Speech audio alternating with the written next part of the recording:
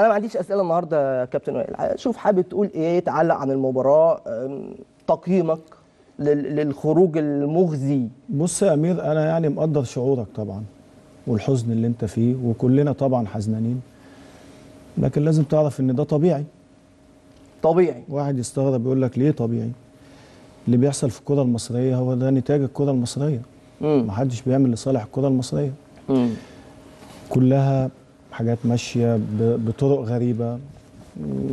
يعني عارف فلوس كتير بيستفاد منها ناس كتير بدون أي إيجابيات. آه، ما حدش بيعمل لصالح المنتخب. الكرة في مصر أصلا يعني ما بتتطورش. يعني خد بالك. وإحنا اتكلمنا. الكلام ده قبل كده معاك يا أمير وأنا قلت. لك الكرة عندنا ما بتتطورش.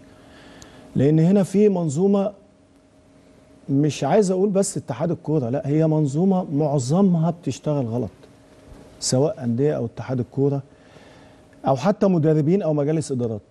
لأن إحنا زي ما قلت لك ما بنطورش الكوره لما نيجي نبدأ على لعيبة محدش بيعلمها أصلا كورة حديثة سواء من تحت أو من الدرجة الأولى. مدربين بتخاف تعلم الولاد الكورة لأن هو تحس إن هو يعني حاطط سكين على رقبته. هو لو جه يعلم الولاد الكورة وحصل سوء نتائج وانت لازم تاخد وقت عشان تبدأ تشتغل على الكورة الحديثة زي ما انت النهارده غيرت من طريقة 3 5 2 اللي هي كان فيها ليبرو. بدأت تشتغل بأربعة اللي هي أصلا ناس اشتغلت من حوالي 6 8 سنين انت بدأت متأخر تشتغل دي. ولما كنت بتشتغل أربعة كانت ناس كتيرة قوي في الأخطاء كانت بيحصل أخطاء كتيرة قوي. كان الناس يقول لك يا عم ما تلعب على قد اللي تعرفه. ما كانش بيبص على الكره الحديثة. فانت النهارده لما تيجي تتكلم على مدرب هو خايف يعلم كورة. وفي مدربين أصلا بتشتغل يعني بالقطعة. بالقطعة دي ما تلاقيش ناتج في المستقبل لأن هيجي وقت تلاقي نفسك أنت تحت خالص. مم. طيب مجالس إدارات ما بتصبرش على مدربين عايزة تشتغل. مم. لازم يبقى فيه متابعة. مجالس إدارات بتغير مدربين كل ثلاث ماتشات ما بتديهمش الثقة حتى لو هو شغال كويس. في حاجات كتيرة كوارث يعني بتحصل زي ما قلت لك من بداية الناشئين. انت النهارده مستغرب انك خرجت.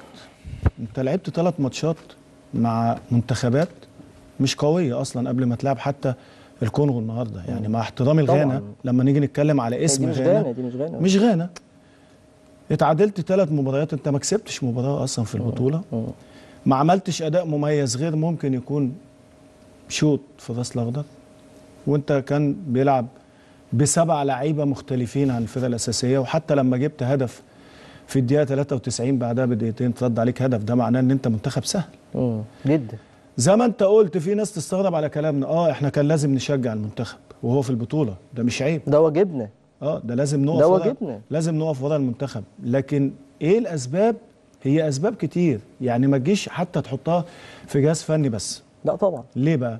لأن أنت برضو لازم تعاتب على اللعيبة. أنت النهارده لما تيجي تتكلم على جهاز فني ما لما تيجي تتكلم مثلا على نص الملعب مروان لعب وحمدي لعب تمام والنني لعب وزيزو لعب وعندك حمدي فتحي لعب وعندك آه إمام عاشور لعب. حتى لو إحنا جينا نتكلم في التشكيلات طب هو أصلا لاعب وغير كذا مرة. مفيش ناتج. صح؟ مم. لعب بفتوح ولعب بمحمد حمدي. مفيش ناتج. لعب بعمر كمال ولعب بمحمد هاني. مفيش ناتج. لعب بزيزو ولعب بمحمد صلاح. مفيش ناتج. لعب بمرموش ولعب بتريزيجيه. مفيش ناتج. في حاجات فردية ممكن في لعيبة تتظلم في الحتة دي فردية. لكن أنا بتك... بتكلم على إيه؟ الناس بس إيه يعني ما تبقاش بس في الزعل تاخد كل حاجة إن فيتوريا.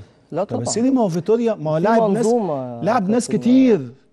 فين انت وفين كورتك وفين شخصيتك وفين الحلول؟ إحنا أنا حتى بعتب حتى على المعلق اللي بيتكلم مع احترامي ده مش عايش معانا علي. مع كامل احترامي يعني لا ليه مع, يعني؟ مع احترامي مش مش عايش علي. المباراة مش عايش أحاسيسنا لا لا إحنا سيبك سيبك. من القصة دي. يقول لك يا احتكاك قوي جدا وبيضربوا بيضربوا جامد جدا. احتكاك قوي جدا. إيه بس يا جماعة؟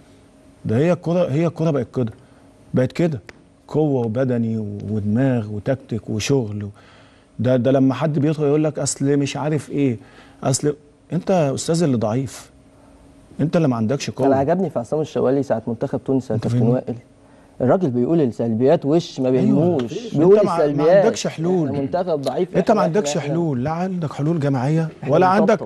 حلول فردية إحنا مشكلتنا إن إحنا بنطبطب فاهمني؟ كتير. علينا كلنا مش عايز- حد للأسف يعني.